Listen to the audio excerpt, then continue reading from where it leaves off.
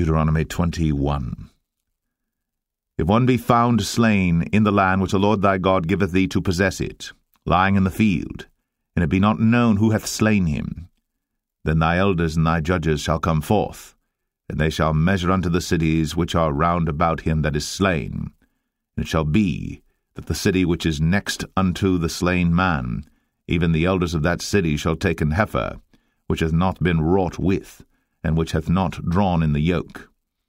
And the elders of that city shall bring down the heifer unto a rough valley, which is neither eared nor sown, and shall strike off the heifer's neck there in the valley. And the priests, the sons of Levi, shall come near.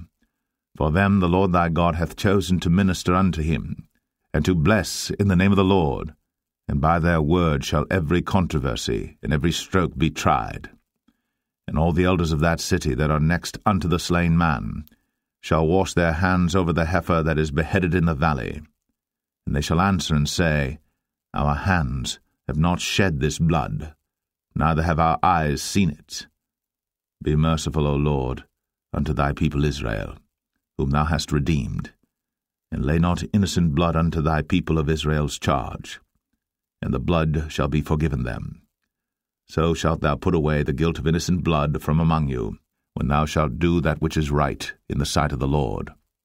When thou goest forth to war against thine enemies, and the Lord thy God hath delivered them into thine hands, and thou hast taken them captive, and seest among the captives a beautiful woman, and hast a desire unto her, that thou wouldest have her to thy wife, then thou shalt bring her home to thine house, and she shall shave her head, and pare her nails, and she shall put the raiment of her captivity from off her, and shall remain in thine house, and bewail her father and her mother a full month.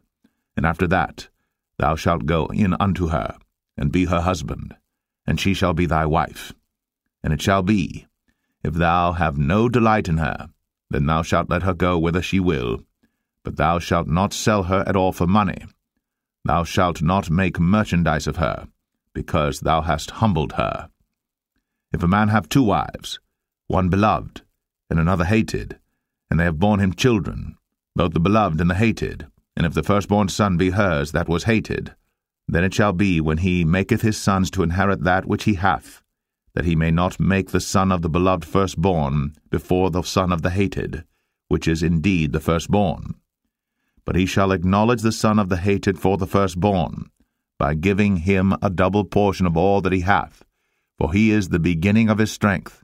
The right of the firstborn is his.